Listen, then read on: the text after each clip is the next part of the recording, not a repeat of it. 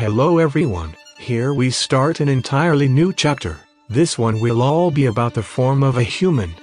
Specifically, this episode will cover the nature of humanity itself, intellect, the soul of humans. Let us begin right now.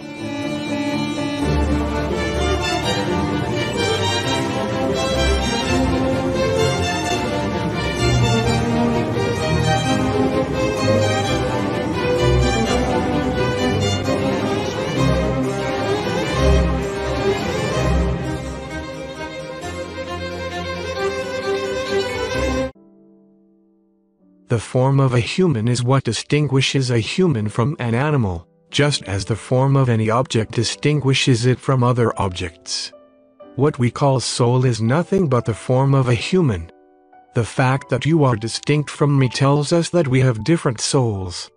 Now, defining the soul as the form of a human is already proof for its existence, as it is clear that humans have forms. However, let me give you another argument against materialism. Do this experiment with me. Close your eyes.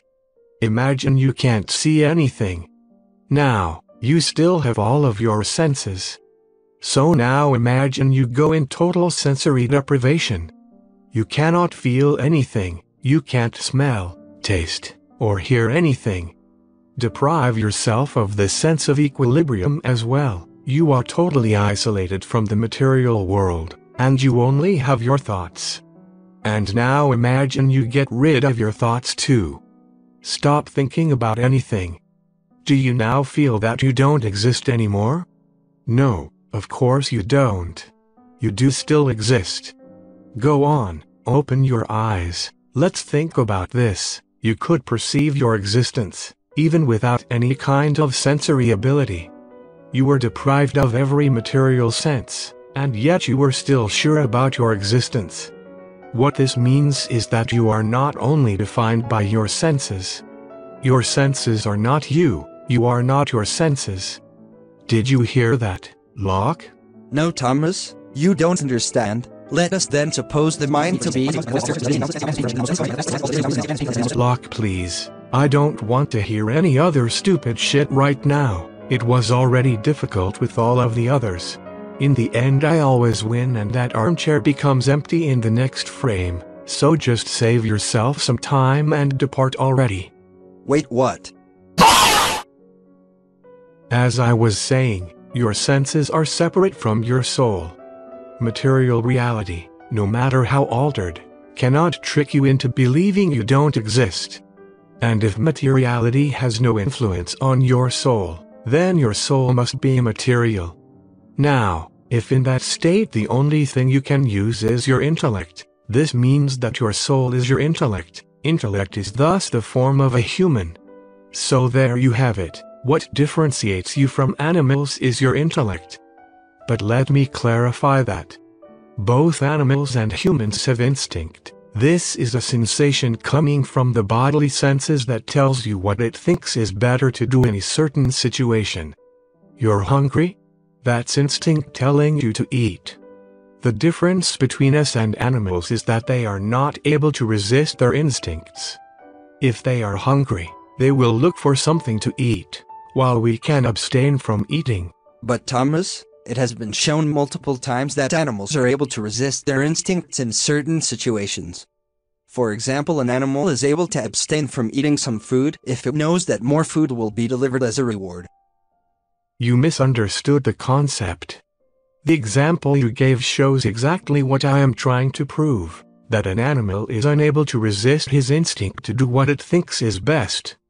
If the animal learns that it will get more food after a period of time, its instinct will tell it to wait. But the animal is waiting only because it wants to get more food. Humans, on the other hand, are able to resist instincts. You are able to fast, even if it doesn't benefit you. Human actions are always a tug of war between the instinct and the will, while in animals the will always follows the instinct. The will is one of the soul's powers, and, Speaking of the soul's powers, see you next time. Be well.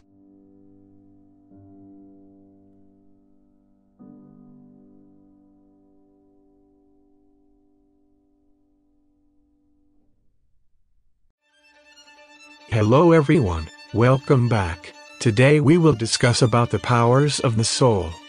We've proven that the soul exists, but what is it capable of? What abilities of humans come from it?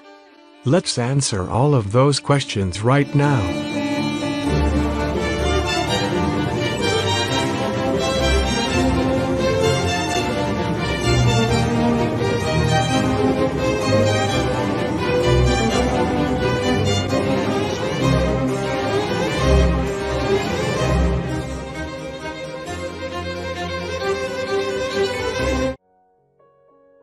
First of all, we must define the powers of the soul by their act and their object, and this means that there is a hierarchy between them, because if the importance of the object varies, then the importance of the power also varies accordingly. So, by this definition, what are the powers of the soul? We can divide them mainly in three categories. Vegetative powers, sensitive powers, and rational powers. Each of those groups corresponds to one of the three kingdoms of life. The vegetative powers are the ones responsible for the endurance of life, those are nutrition, growth, and reproduction. Each living being has these, and the life of a group cannot go on in a stable manner if one of those is missing. In fact, nutrition is necessary for the body to live, growth is necessary for the body to develop, and reproduction is necessary for the body to exist in the first place. The sensitive powers are found in all animals, they can be internal or external. The external sensitive powers are the five senses, with the adding of all other non-conventional senses such as equilibrium. The internal sensitive powers are instinct, which understands what is better for the self, memory, which stores the information gained by the external senses, imagination, which can recall the memories and alter them according to estimation, and common sense, which coordinates all of the sensitive powers. Finally, the rational powers, they are present only in humans, and they are intellect and will. While senses get perception of an object in the present, intellect is able to abstract from the concrete and form a concept so that it hasn't to rely on instinct every time. Will, on the other hand, is the ability to deliberate in choices.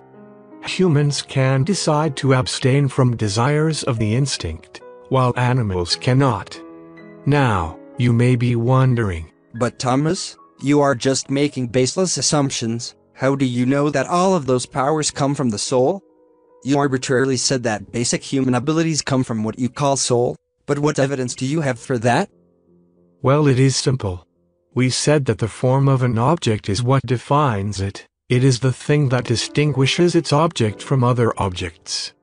Now, this comes with many implications, one of them being the fact that the form must encompass all of the qualities of a given object, but without being them. And therefore, the soul of a human has certain powers. The powers that all humans have. This was all for today. We however need to dive deeper into the soul. So, see you next time. Be well.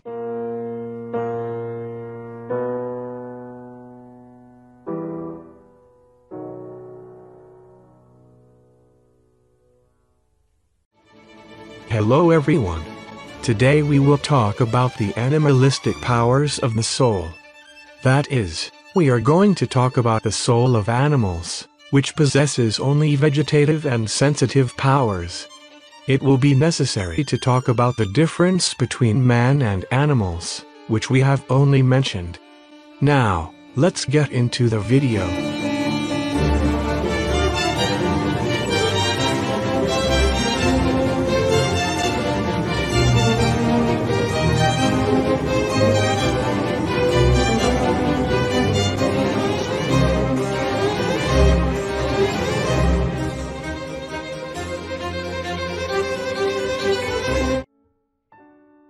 The powers of the animalistic souls are the following. Nutrition, growth, reproduction, the five senses, instinct, imagination, memory, and common sense. Let's go with order. Nutrition is the power of the soul to gain energy through other beings.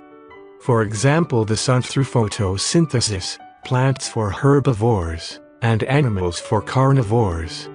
There isn't much else to say, the point of nutrition is to make the body endure, as the soul cannot live properly without the body.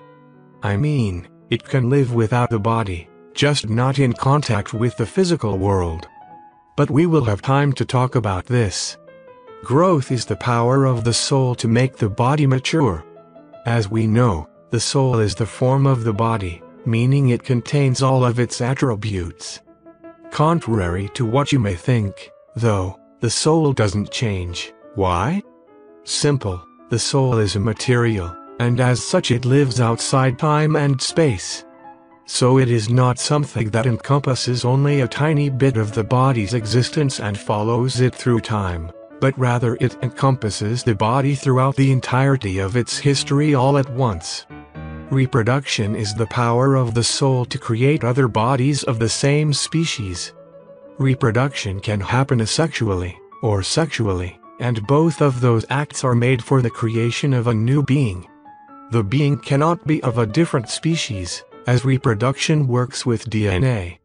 Reproduction is not vital for the single body to maintain, but it is vital for the entirety of the population to endure. The five senses, and the other non-conventional senses, are external tools that help the soul get information about the surrounding environment. The senses can convert certain movements or particles in different sensations. The sensations are perceived inside of the body by the brain and communicated to the soul. They give an insight of how matter is moving outside of the body, and also inside. Instinct, also called the estimative power, uses the information gained by the five senses to try and estimate what is better for the self. The insight they give is perceived as pleasure. When instinct thinks the action is good, and pain, when it thinks that the action is bad. It is very important to note that instinct is estimative, and as such, is not really good at grasping the universal good, but it only thinks of the individual good. Therefore not everything pleasing is good, and not everything painful is bad.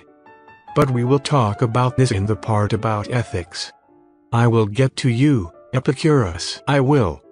Imagination is the ability to think and create images according to the information that we perceive. By perceiving reality, we gain information about it, and are able to remodel this information in order to create abstract and non-existent but helpful for different purposes, such as understanding a concept, or having an idea. Ideas being products of imagination which can help creating something useful. Memory stores the information gained by the external senses, which then can be analyzed by imagination, and used by instinct later.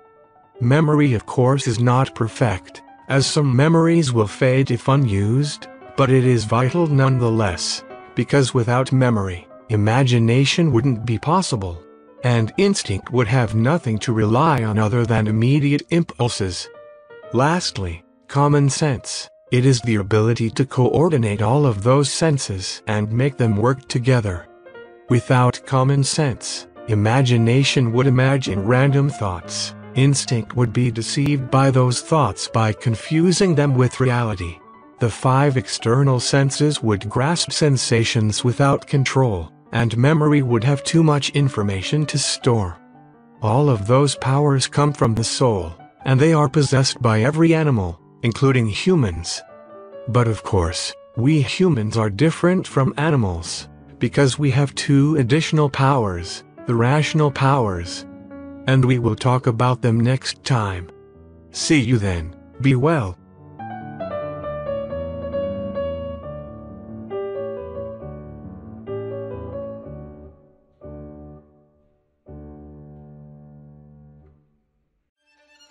Hello everyone. Today we will finally answer the question, what's the difference between humans and animals? The soul of humans has additional powers, the rational powers, and today we will talk about them. Let's jump right into it.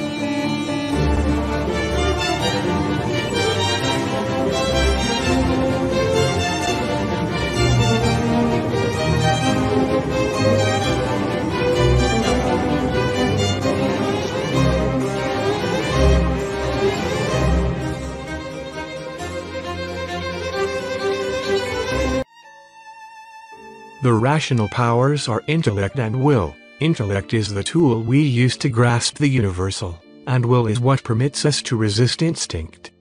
Going more in depth, intellect uses the senses to gain information about certain entities. While storing this information is enough for them to be used by instinct, we need more. We need to be able to innovate and modify. Intellect is exactly that. When you put pieces together, when you find connections between concepts, even when you create concepts, you are using intellect. Animals can create logical connections, but they are subject to instinct. Ours aren't. Our logical connections are not made for an individual advantage. Instinct creates connections if and only if it is beneficial for the self. But we can create abstract connections between concepts even if it's not practical or beneficial for us. For animals, things merely subsist, while for us, they are. I know, I am not explaining myself clearly now, but it's kinda difficult to put what I mean in words. The point is, animals see a tree, and if it's not beneficial for them, they don't care, while humans see a tree, then they see another slightly different tree, then another one, and another one. And after some time they start seeing patterns and similarities between them, and so they create a general concept with a certain definition. Haha, you got yourself there, Thomas. The forms that you have been talking about do not exist. They are just abstract concepts and do not actually exist. Checkmate. What you said, simply, makes no sense. My eye seeing a pencil creates the image of the pencil and recognizes it. It is not my eye that creates the pencil out of nowhere. Likewise, intellect recognizes the form and replicates it. But in order for the intellect to create that image, it has to create that image out of something in the first place. Intellect can basically recognize the categories and forms of objects. Let's do an experiment. I believe that you do know what a meme is, but can you define it? Actually, Thomas, I can define a meme. Memes are popular quotes, images, and real people, which are copied, imitated, and spread all over the internet. Alright, if you can define it, then congrats. But my point is another. There are surely people that know what a meme is, but do not know its definition. How is that? After all, it makes sense that in order to know what something is you would have to know its definition, but somehow humans are capable of ascending that sometimes. That is intellect working, pattern recognition which can know the universal forms and categories. Next, will. Will is the power of the soul to resist the impulses of the instinct, and act as it wishes. I know this will bring up a really heated debate, but listen, Humans do have free will. No, Thomas, humans do not have free will. Everything in the universe has a cause, as you said, so even your thoughts do. Your thoughts and decisions have a materialistic cause. Also, this study says that the body does stuff before the brain decides to, so there is no way in which humans can have free will. Hear me out. Princeton mathematicians John Conway and Simon Kochen made a theorem which states that we can only have free will if we live in an idealist, indeterministic universe instead of a realist deterministic one. This theorem of theirs was demonstrated mathematically and logically, meaning that it has the highest degree of truth possible. Now, recent advancements in quantum physics show that the subatomic quantum realm is completely indeterministic and nothing is certain until a conscious observer makes a measurement. We have talked about this in the previous chapter about physics. We live in an idealistic world. This means that not only we do have free will, but that consciousness is not dependent on the quantum realm, rather vice versa. Free will is real, and the proof for it is incredibly qualitative. Now, will works in a rather particular way. It hinders instinct from completely influencing the soul's decisions. In fact, when we have a desire, it comes from the instinct, but we are free to not follow it, and rather abstain. Animals lack this capability, they are completely subjected to their instincts. But Thomas, We too are unable to control our instincts. No, we're not. If that were true, then fasting or abstaining from any kind of addiction would be impossible. Are you hungry right now? You may be, yet you are still watching this video, and are not desperately searching for food like a cat would do. For the last time, you are able to abstain from your desires, and that means that you have free will. This ends our talk about the powers of the soul, but there is another thing to discuss. The smartest among you will have noticed a strange similarity. A similarity between the rational powers and something else we have talked about some time ago. Almost as if humans were its image. Image. That's what we will talk about next time. Until then, be well.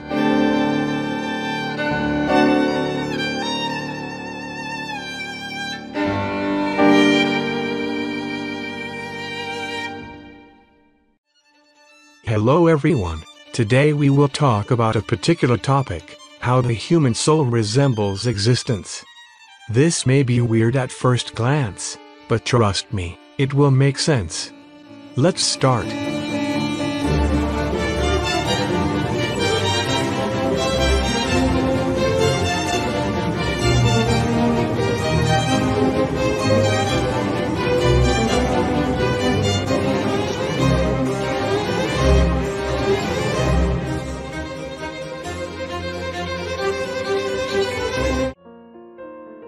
First, we must take a look back at existence.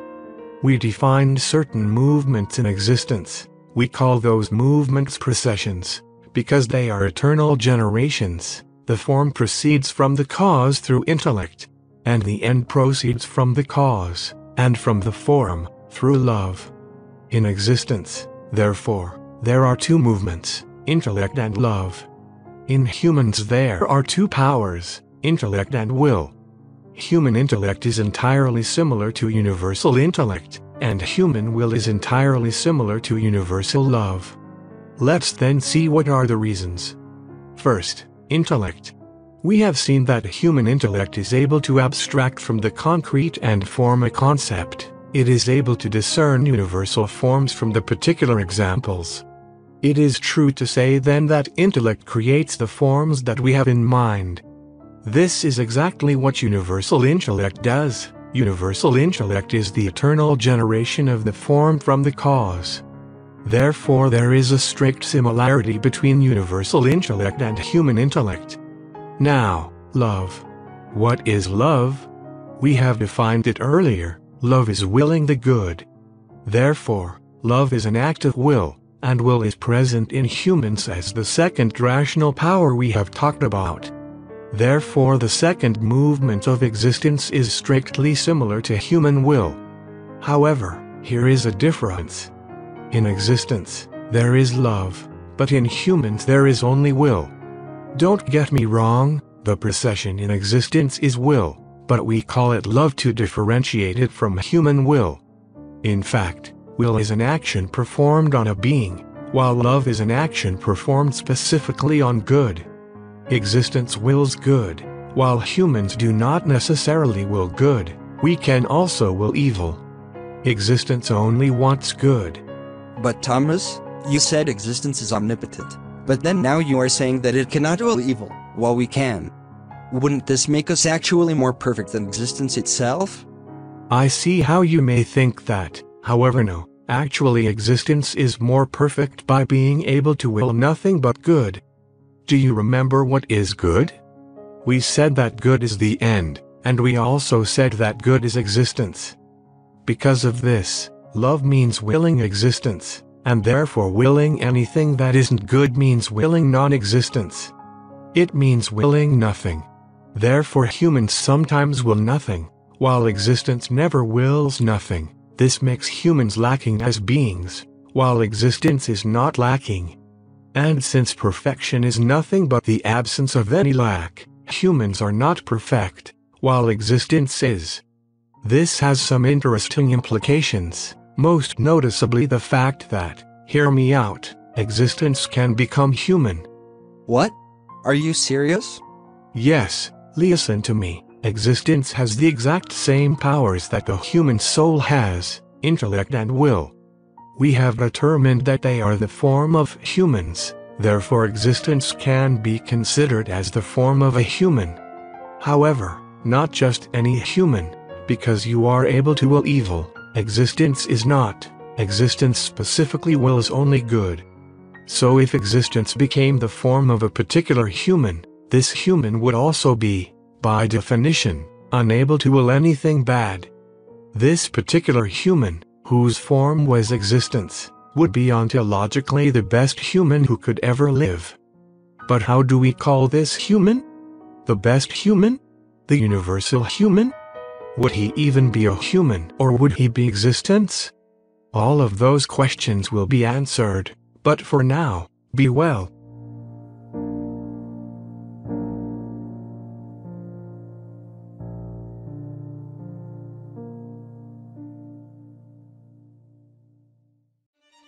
Hello everyone. Today we will talk about the man, the man whose form is existence, and his name will be the Savior. Let's get right into it.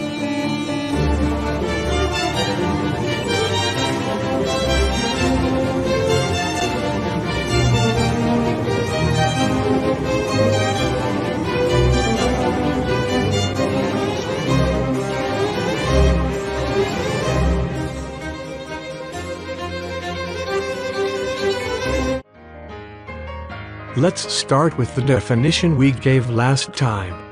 The Savior is that one human whose form is existence. However, existence as a whole can't be the form, because that would make the cause and the end, forms, which goes against their nature. But this doesn't make existence itself not the form of the Savior, because, if you remember, the form is fully existence, as we said in the first chapter. The Savior can thus be called the form of existence. So, Thomas, basically you're saying that the Savior is existence that took the appearance of a human? No, the Savior is not just existence which became similar to a human. The Savior is fully existence and fully human. What? It is nonsensical. How can it be possible for something to be fully two different things without those two things being the same? Through the union of the substances, you are fully your soul and fully your body, and that makes you a human. The fact that the Savior has the same processions as humans makes him able to be called fully human and fully existence. So because existence has the same processions as humans, then it can be a human form? Yes. Wouldn't that mean that existence itself is also fully human? No, existence itself is not fully human, because it doesn't have a physical body. The Savior however does have a physical body. A human is a physical being whose form contains intellect and will. This perfectly applies to the Savior, but not to existence, as existence is not physical. Okay, but I still don't understand in what way the forms of existence in humans can be united. Substantially. The substance of a human, or the form of a human, is united with the form of existence. We can call this kind of union hypostatic to underline the concept of substantial union. So it's like an average? The form of the Savior is a mix between the form of existence and that of a human? No, the form of the Savior is not some kind of mix between the form of existence and the form of a human, because that would make the form of a Savior a completely new form. While we determined that the form of the Savior is both existence and human, doesn't that mean that the Savior is a creature? Because he has a physical body, he was created and not eternal. He was not, because the form of the Savior is existence, and it has always existed, meaning the Savior was not made. Plus, if the Savior was made, he would be a creature. But to say that existence is a creature and that it had a beginning is entirely false, as we saw in the first chapter. Alright, but aside from being fully existence, what differentiates the Savior from any other human? As we defined him, the Savior has existence as his form. His soul is the form of existence, meaning his will is bound only to love. The Savior cannot will evil, and would therefore make an example for all humans. This is why I will be constantly talking about him in the chapters about ethics. This means that the Savior is nothing more than a human which has been limited by existence, right? No. Obviously existence cannot possess an already existing human, that would make that human a different thing from the Savior. The Savior is existence itself, as we said. Okay, I understand everything now, but I have one more question. Did the Savior actually exist? Or will he ever exist? Well, I actually have an answer, but I will not talk about this in this video. In the future however, I will definitely give my point of view. After this entire series will be over. Meanwhile, next time we will have to discuss what happens to the human soul when it is separated from the body. See you all then. Be well.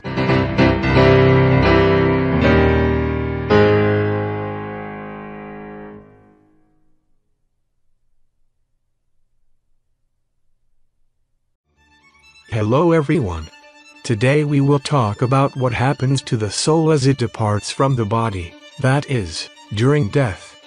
Whether there is an afterlife will be debatable afterwards, in the next chapter, but now we will concentrate on the soul itself. Let's start.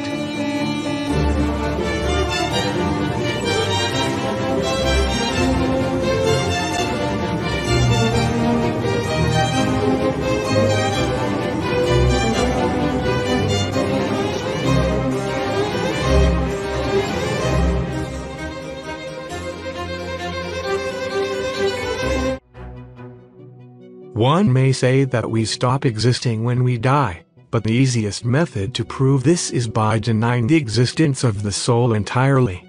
However we have determined that humans cannot exist without souls, because a soul is the form of a human.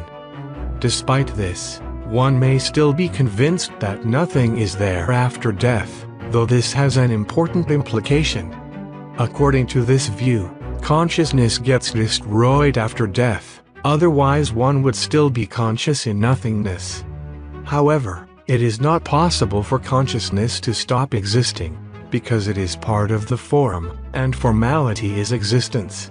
So the only way consciousness can stop existing is if it never existed in the first place, or if it was a physical thing. We have determined that it is neither, therefore consciousness must keep existing after death. So let us then wonder, what is the soul capable of after death? Well, to do that is merely to cancel out the connection between the powers of the soul and material entities. Eliminating that, we lose nutrition, growth, and reproduction.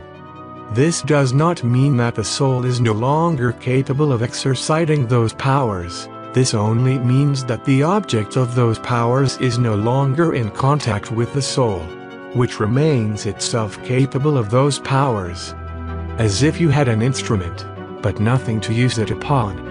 Moving on, the soul loses connection with all the animal powers, without connection to the physical world. The five senses are useless, without them, memory has nothing to act upon. We also then lose imagination, and instinct. At this point common sense is then useless too. Therefore, we are only left with the rational powers of intellect and will. What does this imply? It implies that we are still able to think about universal forms, and that we are still able to wish good and bad. But Thomas, morality doesn't exist. Good and evil are actually social constructs which are.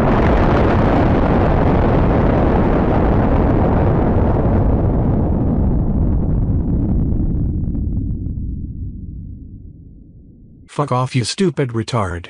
I will get to your shitty philosophy when it's time. Go fuck yourself and know your place, trash. As I was saying, what this means is that the soul is still capable of contemplating the universal forms, and of willing good or bad. However, it is not possible for the soul to think about past experiences, due to lack of memory, nor to just stop contemplating universality, for obvious reasons. This means that, after death, we will be in a state of contemplation of existence itself, since it's the final object of intellect. What does this mean? Well, you will know. We will arrive to that in the ethics part, but before we talk about that, we need one more piece. How does the soul act in the material world? That's what we will talk about in the next chapter. Thank you all for following. See you next time. Be well.